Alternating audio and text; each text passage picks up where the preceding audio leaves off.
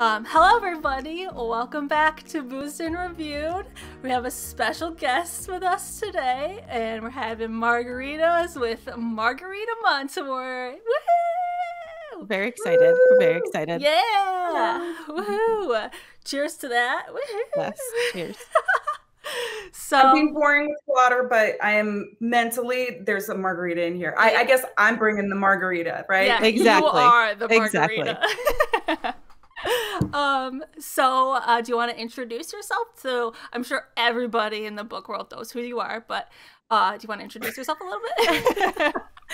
I sincerely doubt that but very much appreciate your uh, how, how how much you think of me by saying that.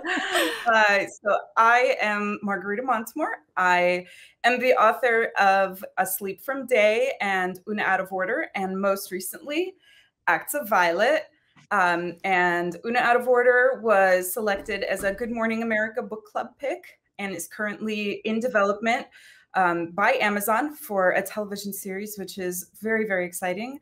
And uh, yeah, and I'm I've of Violet came out just earlier this month. It came out July 5th. So I am just very, very excited to have my my new girl out in the world and to be talking about all things magic and books and anything and everything else that may come up. And on a total side note, I love that the three of us are all representing like cool glasses. It's yeah. like a yes. glass convention here. So I love both of your looks there. Oh, thank you. Thank you. We love yours. Thanks. um, so uh what inspired you to become an author and when did you know the writing was gonna that writing was gonna be your niche like your whole? Good question. I would say it isn't so much inspiration as much as writing is something that i have done since i was a child. My mom loves telling the story of how we were in a stationery store when i was six i think or maybe seven and i found this Hello Kitty diary, which mm-hmm. I still have uh, across the room and with a lock on it because, you know, six year olds have many private and secret thoughts that must be kept treasured. And I just begged and begged for my parents to buy this Hello Kitty diary for me. So I was keeping diaries from a very, very young age. And then um, the journaling kind of evolved into some poetry and prose. And I would say what really kind of flipped the switch for me from this is just something I do because I love it and you know I also love to read to this is what I want to dedicate my life to. That probably came around age 16 when I took this amazing creative writing class that like imagine if the breakfast club was a writing class where it didn't matter if you were like the outcast weirdo or the popular kid or the jock like everybody was equal in this writing class. And it really felt like it gave all of us this voice. And I felt like, oh my gosh, like I can finally express myself in a way I've never been able to before. And it just, it just being in that environment and and kind of it opened up this writer real writer side of me and uh, yeah and then from then on i studied creative writing in college and worked other jobs as authors do even after they're published but uh, you know finally after kind of working in everything from insurance to publishing to social media and um, i finally just kind of decided to make the big leap focus on it full time and here we are. Yeah. Um what's a fun fact about yourself that maybe your fans don't know? Okay, non-writing related. Uh, I am a very clumsy person and have just barely any physical dexterity. I will find the invisible hole in crack in the sidewalk, like walk into walls. My depth perception is terrible. And yet I am really surprisingly good with a hula hoop and i even won a hula hoop contest once like i can keep that thing going i haven't tried it in a while but i feel like if somebody gave me a hula hoop now like i would just my body would just remember and we'd be off to the races so That's my little completely useless talent. yes. Interesting. That's awesome. I cannot. That's so hard. That's like a I can't really... even ride a bike. But I can what is wrong with that? That's just messed up. Oh my goodness. That's so impressive. Um that's so fun. If you had to choose, who is your favorite author or your auto by authors? Okay. It, they're different because my favorite authors are the ones I feel like have influenced me deeply as a writer. And those would be Margaret Atwood, Milan Kundera, and Oscar Wilde. And just for very different reasons, just especially Margaret Atwood, I worship at at her altar and just like how she's she's crossed genres. She writes about women in the most extraordinary way her imagination her craft everything about her. Uh, milan kundera he breaks the cardinal rule of show don't tell. So he in kind of early in my writing life sort of instilled this little rebellious streak of like, okay, learn the rules, but then look how you can bend or even break them. And look at like how you can just infuse so many ideas and philosophies and, you know, just have a story that's so much more than just plot and characters. Um, and then Oscar Wilde, I mean, his one liners are better than some people's entire novels. So um, just the, the wit and um, just and the the notion that he was even more clever in person uh, and that anything that he put down that to paper that we still read today is like nowhere near the level of um, of of wit that he had in real life so that just that helps me try to also like infuse of that level of of humor and cleverness, but also human observation into what I write. Uh, as far as auto buys authors, I mean, I will read pretty much anything that Liane Moriarty or um, Taylor Jenkins Reid puts out, and mm-hmm. I love their their blend of kind of the really really great hooks and characters and stories that and they straddle that like area of it's book club fiction but it's you know it's it's both commercial and literary like i very much aspire to be kind of on the same shelves as as those two authors so really enjoy their work. I think you will. I don't know why you already aren't. You're writing so well like good. We loved oona and we loved acts yes. of violet so thank you. you're welcome. Um, I am reading Acts of Violet right now. I'm not finished with it, but I am most of the way through it and I'm hooked. Yeah. I'm curious what all those little orange little stickies are. The I see that you really gonna oh mark the- These are so that's Danielle. This is Danielle's doing when she read. Wow. And so I can tell when something's like super important coming up. I'm like on the page and I'm like, okay, I can't read it. I need to like read everything else and then I can't skip down and then I peel it off, underneath it, put it right back. Um, but yeah, Danielle attacked this book. Yeah. Nice. I'm mostly through it. I have some theories, but I will not share.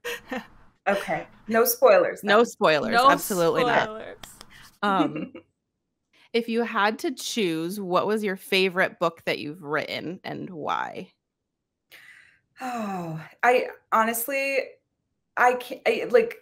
It's impossible. Yeah. You know, I love all my children equally. Like I, I, and I'm not even exaggerating. I don't have any biological children, um, and I, for me, I feel like my books are the closest thing to actually having children. So, it, it's really like you're Sophie's choicing me here. I, honestly, um, you know, I I like to think that you know every book that I that I write, I completely pour my heart and soul into. So I try to get better with each book. I try to challenge mm-hmm. myself with each book. Um, but picking a favorite, I mean, I can't. Like they're, you know, they're all different and they all mean so much to me in different ways. So like I'm sorry to cop out, but oh no, that's no, that's a good answer. Make them choose. is there is there one that maybe was more fun to write in the sense of like Oona was more time travel-y, Acts of Violet mm-hmm. is definitely like the magic side of everything. If if it's, yeah. it's still not either of them, that's totally fine too. I'll be honest. Uh, yeah, I mean, of course, aspects of all of them were fun to write. And like my first book, Asleep from Day, I, I will say it was the one I self published. It was fun because um, it's set in Boston in 1999, and I went to Emerson College, represent, um, in the late 90s, and I it was like four of the best years of my life. So, revisiting that time and place during one of the happiest periods of my life was a lot of fun because it's like I say it's uh, not autobiographical, but it's a hundred percent like geographically autobiographical and a lot of those places that i write about don't exist anymore. So so it's both like my time capsule and love poem to boston as especially like at this particular period of time. So so that was um that was fun. Ooh. okay. Okay. Um so, what brings you inspiration for the stories you write? Like, what is the thing that made you write Oona and Acts of Violet and um, Asleep from Day?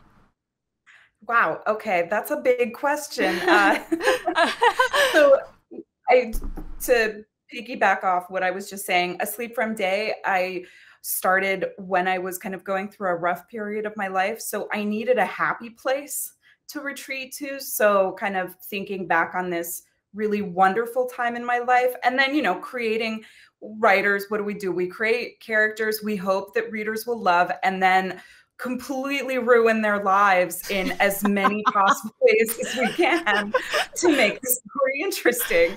Uh, so, you know, so that kind of started from, I think it started from a place of needing to retreat and then all right now now that we're here let's create a real story.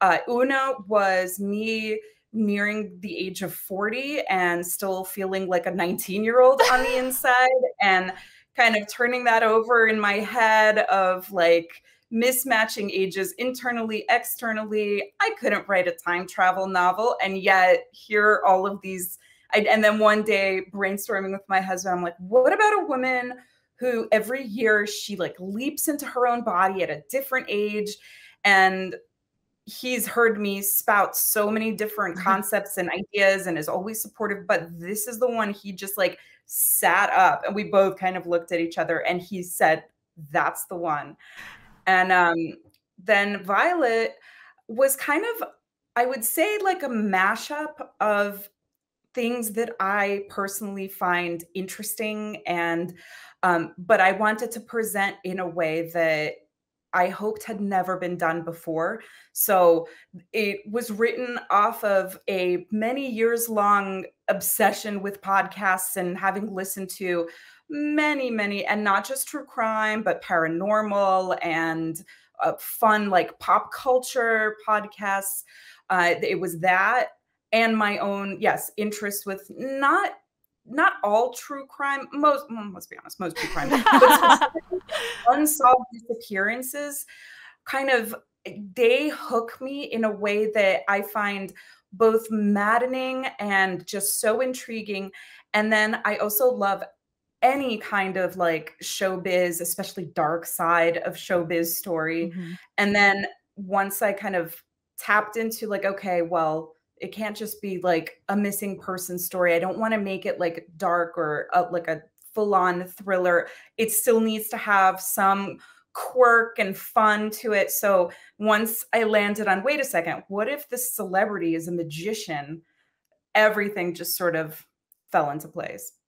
Um, do you have a rec for a true crime crime podcast that we need to listen to? Oh, gosh, um, the I will say the ones that I listen to the the ones about like unsolved disappearances too that I think are really great are Trace Evidence and uh, The Trail Went Cold. Okay. Those were two great ones. But having said that, uh, the two that probably directly inspired Acts of Violet the most were um, Missing on 9 11, which is a deep dive. I love deep dive podcasts and that one, I don't know if you're familiar with Sneha Phillips, the woman mm-hmm. who mm-hmm. she disappeared uh, right around the time. Basically, nobody heard from her from September 10th onward of 2001. And so she's presumed to have been killed in, you know, killed on 9 11 because she was, um, I believe, a doctor or she was in the medical field. At the same time, she had a lot of problems professionally, personally, in her marriage. And there are some who believe she may have chosen that moment to kind of disappear and start a new life. Whoa. So yeah, that's, that's exactly, crazy. Exactly. Yes. Whoa. So ooh, I get like chills just thinking about this case. There's so many layers to it. It's so fascinating. And then um, another podcast that's not true crime, but is uh, like kind of scratches that pop culture mystery itch that I love is called Wind of Change. And it's about, I don't know if you've ever heard that song by the Scorpions. It's one of the biggest rock songs of all time. Um, and this song, there's kind of the question that this podcast tries to answer is whether this song was actually written by the CIA. Oh, yeah, yeah. It's bananas. It's like, eh, eh, yeah, it's so crazy. And it's also like, it's the kind of, I guarantee you just clear half a day to listen to the whole thing. Cause once you start listening to it, you're just going to want to blow through it. That's cool. Stuff like that is yeah. so intriguing all like the conspiracy theories and the oh, deep dives. But the fun conspiracy theories. Yeah, not the ones know? that are like, like scary. Yeah. not the ones that people can die from. The yeah. that are like, who wrote this song? Yes, you know, yeah. Because manufacturer of glitter, or rather, uh, customer, you know, like the glitter mystery, things that are, you know, not so consequential. yeah. That's fair. That's fair. Yes, for sure. As someone who loves true crime, I will be adding those to my podcast list for sure. Um, I want to know your favorites now too, because I uh haven't been. I've been watching more documentaries, so uh, we can. If you want to send me a list later on, that's sure. cool too. But I'm always looking absolutely for recommendations. Yeah. Um, I think a big one is definitely Crime Junkie. That one is mm-hmm. pretty. Um, the plagiarism thing made me stop listening to it. So I haven't been able to oh. return since then. I, I will say, but I will be open to any other. no, no, no, that's fair. I don't know what you're talking about. A writer, so. any kind of plagiarism uh, controversy around anything makes me immediately um, hesitant. So but I'm sure you've got like loads of others too. Yes, I will definitely send you a list and I have to look into that because this is the first I've heard of that. So, oh, yeah. I will look into it. I promise. No worries. No worries. um, what is one book that you're excited to read this summer or this year that you haven't already?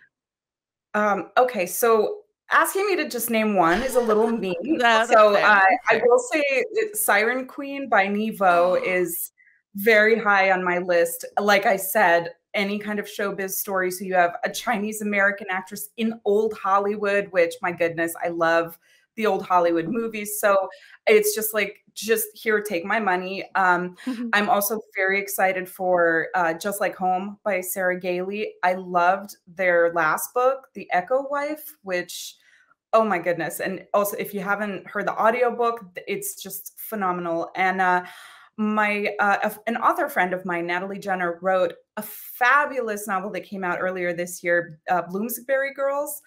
And uh, let me say that again, Bloomsbury Girls. and I just, I, I, one of the things I loved about it is she has real authors make cameo appearances in the book, and one of them is oh. an author who wrote one of my favorite novels, Daphne du Maurier. And it made me realize that my goodness, this woman has a whole body of work. You've read one book and love it to pieces. So I need to read more Daphne du Maurier, and I haven't decided exactly kind of which way to go yet. I have short stories, I have a couple of novels, uh, but that is like for sure on my summer to do or to read list. Yeah, Siren Queen. Oh, yeah, that one. You read it? No, I haven't. That one's on my like want to read list. Oh. Yeah. And that cover, oh my gosh, everything about it is just looks so enchanting. Yeah, it's like incredible. almost haunting, but like mm. beautiful. Mm. Uh huh. Yeah. Okay. Sorry. um.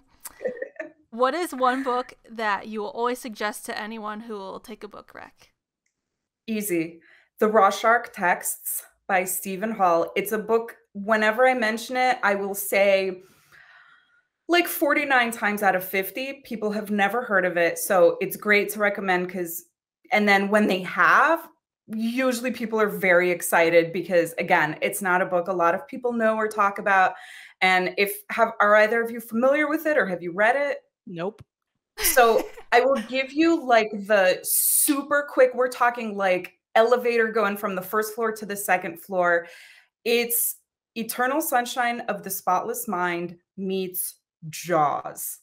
It's weird okay. and wonderful and you will love it I love that movie, so gonna check it out. So, yeah, gonna check that yes. one out.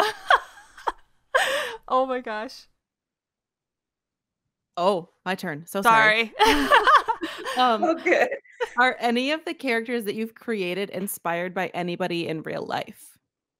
For sure, for sure. Uh, I mean, I'd be lying if I said I mm-hmm. didn't. I will say I do try very hard to not um, model any character off of myself.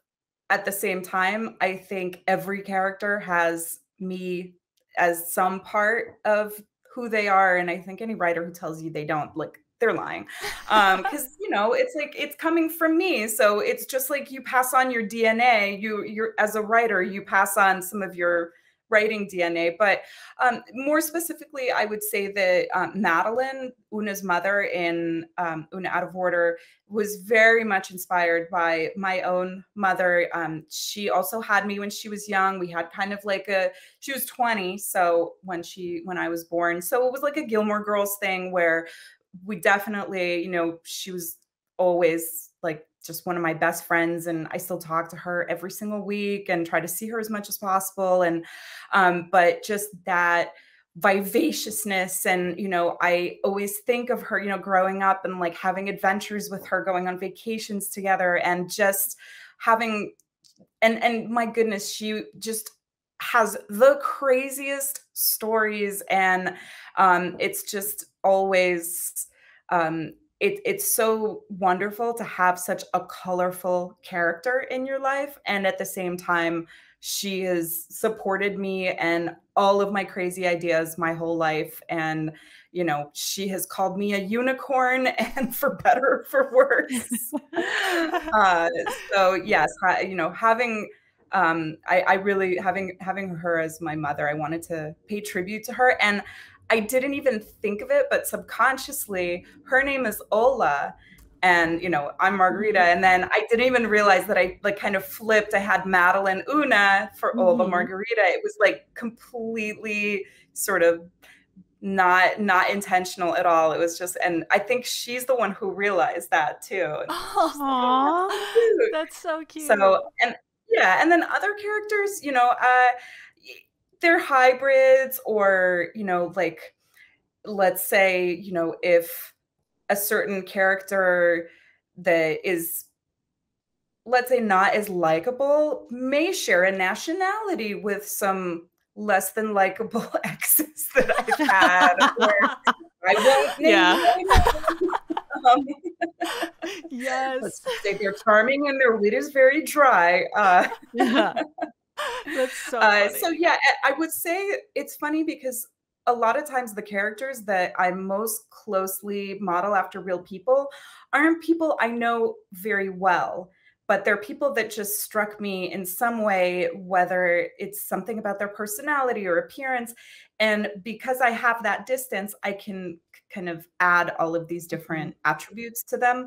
But people who I know very well, I don't think I'd be able to kind of write fictionally about them as well as effectively, you know? Mm-hmm. That makes sense. Yeah. Yeah. Um uh I'm gonna skip question nine more. Okay. Okay. That's fine. How much research into magic and sleight of hand did you have to do before writing Acts of Violet? And then do you have a favorite magician you discovered during your research? Ah, uh, yes. Uh I did a lot of research and my research took an unexpected turn because, you know, it started with just okay, let's do the the basic history of magic and you know i read jim steinmeyer's like one of the preeminent authors on all things magical historical. Um, there's one fantastic book i read fooling houdini also helped give me kind of that overview baseline in a really interesting way. Then i wanted to kind of get more modern like well what's what's magic doing now that's like edgier and different? So this book magic is dead was a good glimpse into more contemporary uh, stage magic and or street magic. And what i of course i watched tons of clips not just of magic being performed but like how it's done all of the magic secrets revealed and then because I love podcasts, I started like listening to a lot of magicians being interviewed to get like the real insight into like okay, what is their their life really like, their career trajectory like. And specifically because I was writing about a female magician, I was interested in the woman's perspective, you know, what is it like to be a woman in magic? And as I started to like sift through and narrow my focus, the question that I kept asking over and over again was, where are all the women? And I would scroll through and be like, here are interviews with magicians, and be like, man, man, man, man, man, man, man, woman. Okay, click, mm-hmm. play. And then I finally came across a podcast called Shezam that was created by two women who are both professional magicians, um, Kayla Drescher and Carisa Hendrix. And it was exactly what I needed. Their mission statement when they founded this podcast was, you know, it was to answer the question, what is it like being a woman in magic? And so I listened to every single episode. And then I reached out to a couple of magicians just on the off chance that somebody would like, and women specifically, would be up for being interviewed. And to my great fortune, Kayla Drescher, one of the founders of this podcast, spent hours on a Zoom with me, just answering my, I have pages and pages of notes, every little detail, every little minute question. And it was such a privilege. And I was so happy when uh, I could send her the finished book. Um, I remember one of the questions I asked her, I was like, what is something I can put into this book that when a professional magician reads this, they'll be able to say like, "Oh, she she did her homework. She knows her stuff." And to my surprise, she said, "Use the word knacky." We're always talking about how a trick is knacky or like this this effect is um is not like so it's basically complicated or really tricky but it's just that's the word that they use and i wanted to make sure that i didn't kind of I didn't want to overdo it. I use it in the book once and it's said by a career magician. And so when I sent Kayla a copy of the finished book along, you know, in my thank you note, she's in my acknowledgments, of course, but in the thank you note, I said, I hope, you know, I I used knacky and I hope I I used it correctly and in a way that would be, you know, appreciated or you know like I, I hope i did you justice. I hope i did i did right by you by all of you like magicians. Um so yeah it was it was a lot of fun and i i will also say that there came a point as as much of a treat as it was discovering like how david blaine does all of his crazy tricks i did purposefully stop researching at, at some point, like once I felt like I had enough knowledge, because there are just some things that I want to still be able to enjoy magic on the level of how did they do that? That's incredible. That looks impossible. And um, you know, even though I still enjoy the tricks, the you know, when there's a really great effect that I I can see how it's done or I can figure it out or I'm I've done that homework. I look at it through more of an artistic lens of like, oh wow, their their gestures here, their pattern, you know. So I I still admire it from a performance standpoint, um, but I'm glad that there are still plenty of effects that can wow me because I don't know how they're done. um, on that, are there any magic tricks that you know how to do or have learned how to do in your research of this book?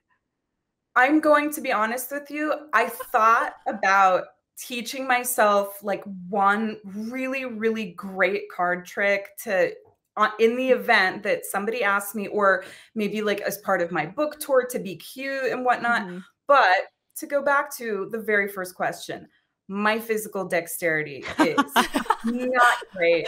Yeah. And I felt like I would not be doing professional magicians justice by even mm. trying to like attempt a good magic trick. And I'm one of those people that like if I'm not going to half-ass it. Like if I'm not if I can't do it yeah. well, I'm not going to do it. So I didn't go down that rabbit hole and I I think that we're all the better for it. Yes.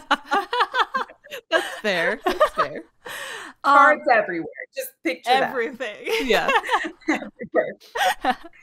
um, can you tell us a little bit about the Oona series and have you had your hand in like the production of any of it? So it's currently in development.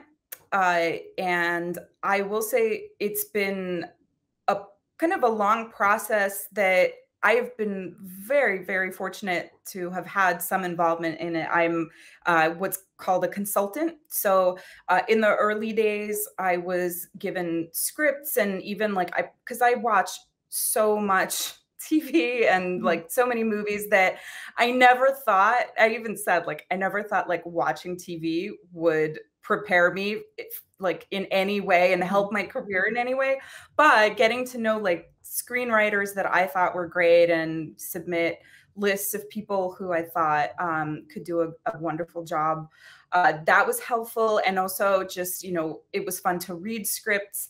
Um, and it's it's still currently in development. Um, I think just right now, and and projects can just take a while mm-hmm. to get to that level where they're where they're in production. So um you know the last i heard it's they're still working on that that pilot script and you know just there's things that you know they're just finessing it. And my my whole mentality with it is you know when there's activity whenever i get an email and like oh can we all have a call? I get super excited. I get you know i i'm always like i'm ready i'm as involved as you'd like me to be and then it's always exciting and fun and then whenever there's a lull i just don't think about it i don't worry about it and i just i get on with the rest of my writing life and just wait for that next that next note or call and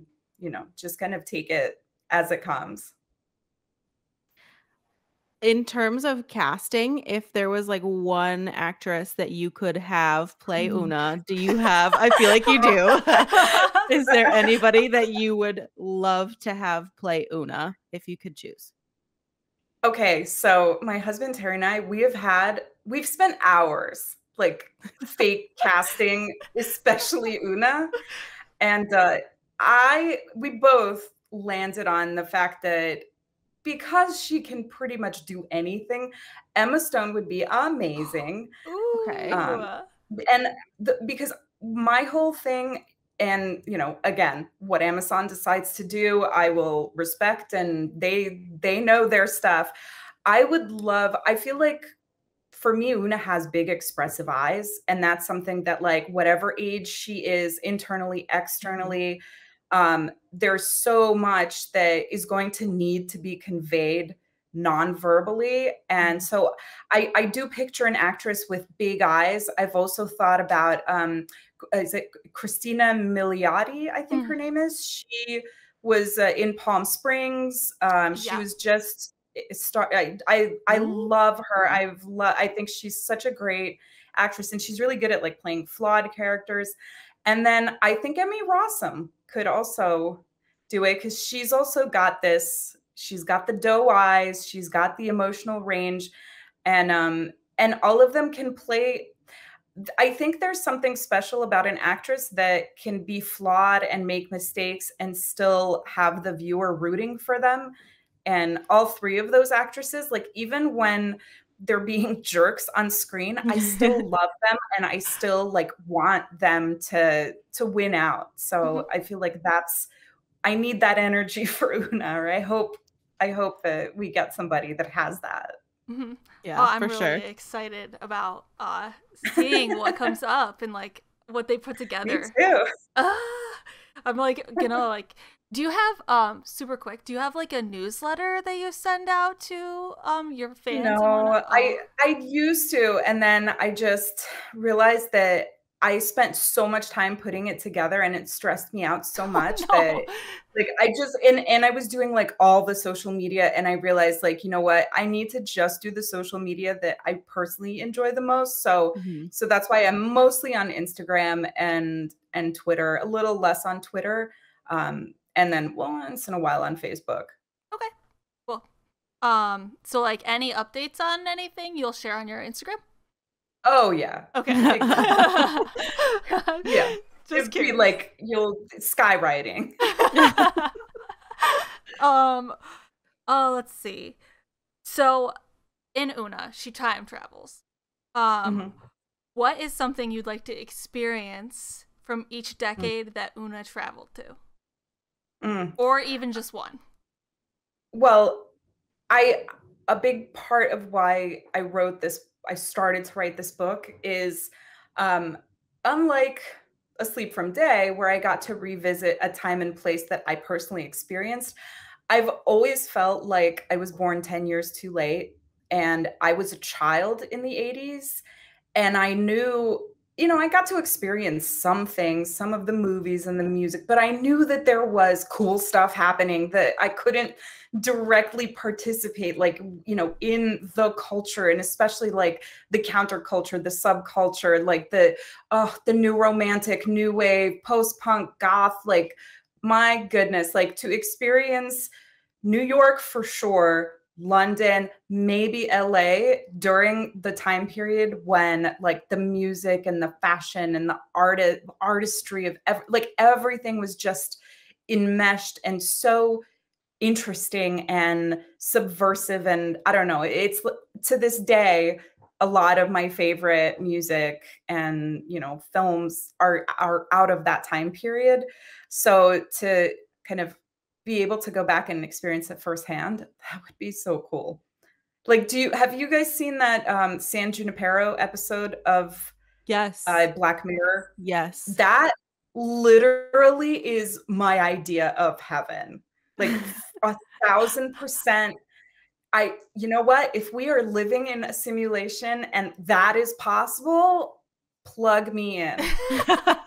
Me back to the 80s. yes. Um do you have any two questions because I feel like we're getting a little close. So, do you have any two questions that you think you want to ask more Me? than the other? Yeah. Oh, sorry. Um n- you can pick one out and then I'll pick one. Okay. um do you have anything in the works right now that you can share with us? So, I am in the in the early early stages of like planning and packing uh, a new book that I, I've pretty much cleared the decks for August. I am trying to so you you ladies made it in right under the wire because I I've blocked out August to fully fully immerse myself mm-hmm. in this new project that I got I've had the title and the hook for this book for almost 20 years now. Wow like I think about 18 because I I remember it came about right yeah either right after I wrote the very very very earliest draft of Asleep from Day which is like again like started ages ago um and I periodically will check Amazon and Goodreads to see if that title belongs to any book and it doesn't and um I feel like I believe a lot of writers believe in this notion of this sort of shared creative wavelength cloud energy field whatever you want to call it where you know if you get an idea and you sit on it for too long it's going to be like a butterfly and it'll fly away and land on another author's shoulder and then too bad you know like you had your chance and you didn't take it. And the fact that this idea and this title has stayed with me as long as it has and i have not acted on it yet. I feel like if I don't do it now, then somebody else will take it or it will never happen. And finally, I've had the premise and yet never kind of, I always sort of hit that wall of like, yeah, and and now the ands are coming. So I'm very, very That's excited. Exciting. That's so exciting. And uh, and yes, of course, it's going to have like a weird little angle. I will say, it's if I had to pitch it without telling you exactly what it's about, think the measure. You know, the new book, The Measure, that came out meets the Midnight Library. We Love last those. podcast literally just read the measure for Yeah. the podcast. Okay, and we so loved it. Whoa. Yeah. And it- what's so funny about the measure is that in Asleep from Day, there's a character who talks about a screenplay that's about a society where people can find out when they're going to die. And it divides basically it divides society into two groups those who know and those who don't know and then within the group of the people who know there are the people who are like dying soon and the people the long lifers and the short lifers Mhm. and there was a point a year or two ago where I very briefly thought, hey, should I develop that into a book? No, never mind. Oh, look, a squirrel, you know, and like I just didn't. and again, that butterfly flew away and landed on another author's shoulder Mhm. who wrote this huge hit book as a result. So yeah, it's uh it's been really it I love kind of seeing how ideas take shape in the hands of different different authors. I'm I can't wait to read that because we love, Yeah. love love loved love both of those Measure. Yeah, those books. Yes. Well, So fingers crossed this one will live up to the hype that I apparently have ju- I have like 2000 words. So I got a lot of work to do. We're well, we we are not gonna be disappointed. Trust us. No. Yes. Yeah, we Not will at all. not be.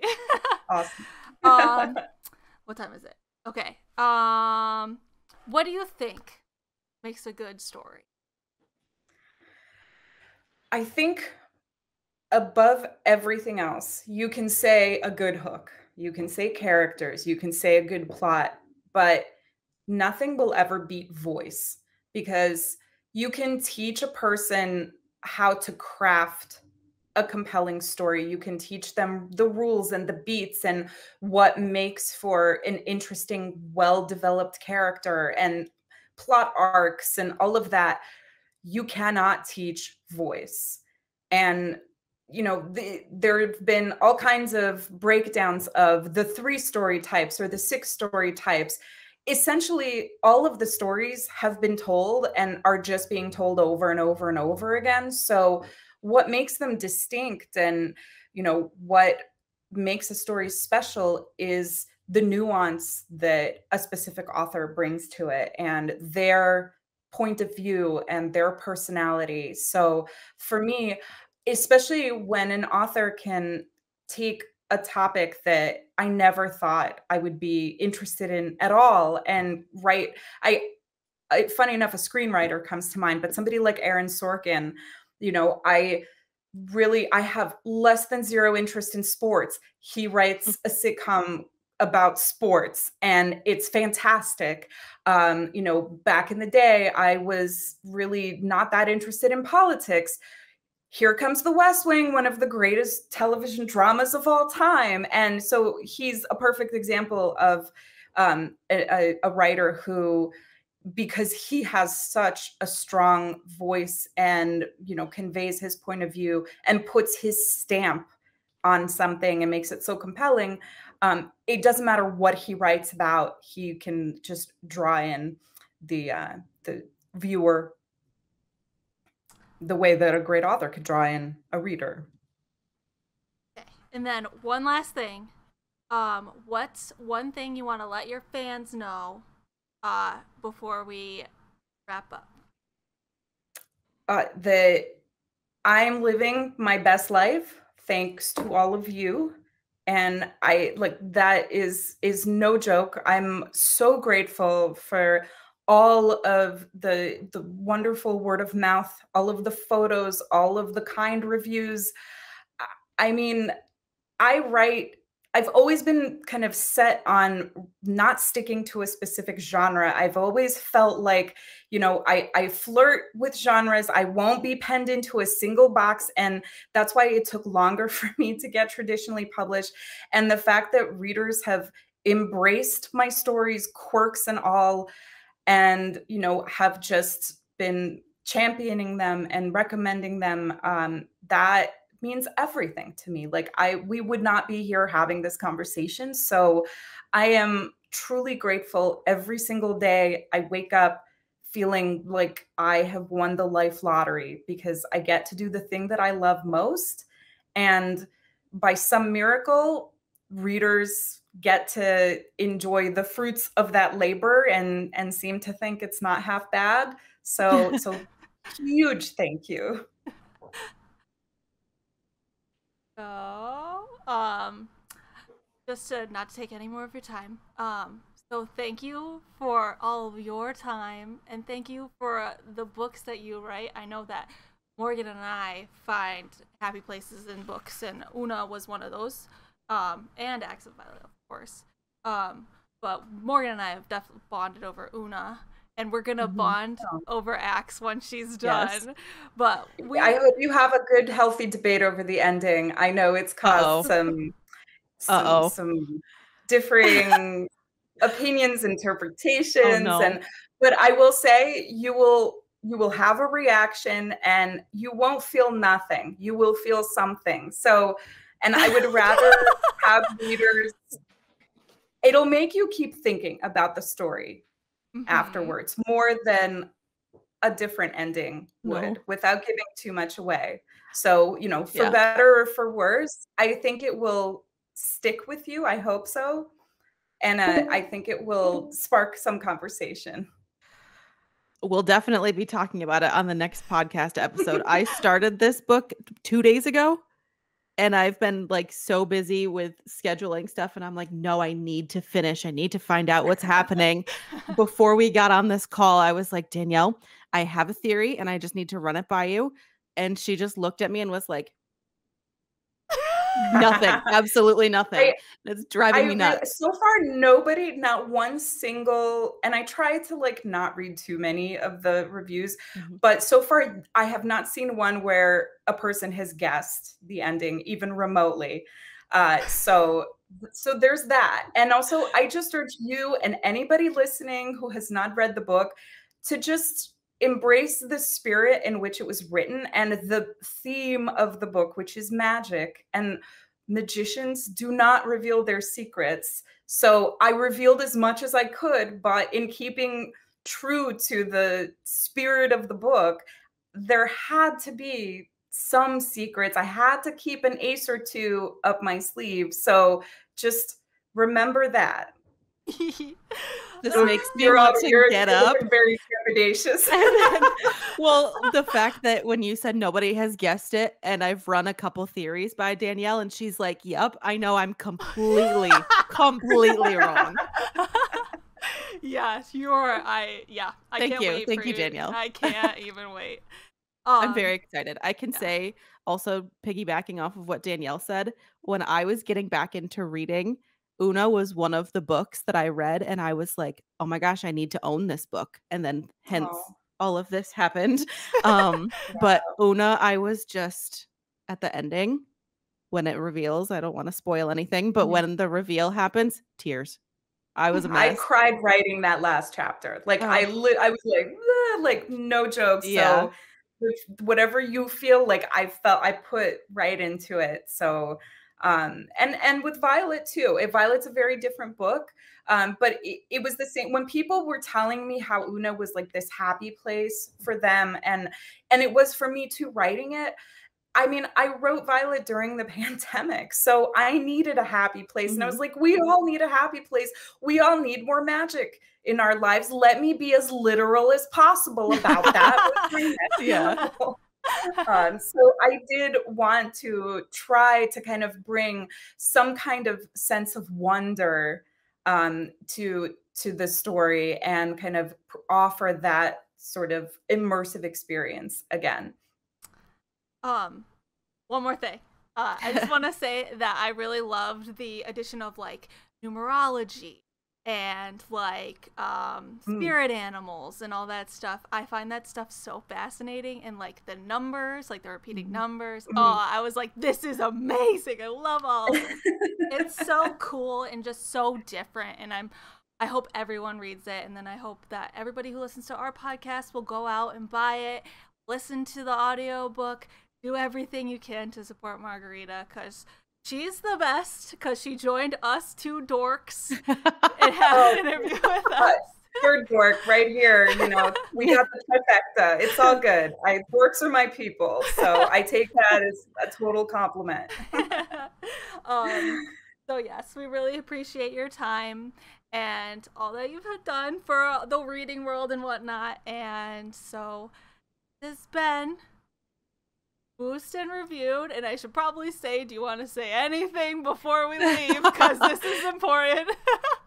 no, thank you so much for having me. This was a blast. I I have loved this last hour, and um, I it's been a really nice respite from. I'm kind of I've been back to work, so it's been really really fun for me to just like take some time just to have a really fun chat. So, and again, thank you for all of your support and you know just all of your kind words. Aww. Thank you. Yay! Well, thank you. And, thank you so much. Uh, so this has been Boozed and Reviewed, and go buy Acts of Violet. Just do it. Won't regret it. Um, and yeah. So, um, where can they find you on Instagram? Uh, Instagram and Twitter. I'm Damiella, D A M I E L L A because why use my real name? and then where can they find you, Morgan? You can find me at underscore bookmorgs underscore. Danielle, where can they find you? You can find me at Danny Allreads at D A N I A L L R E A D S.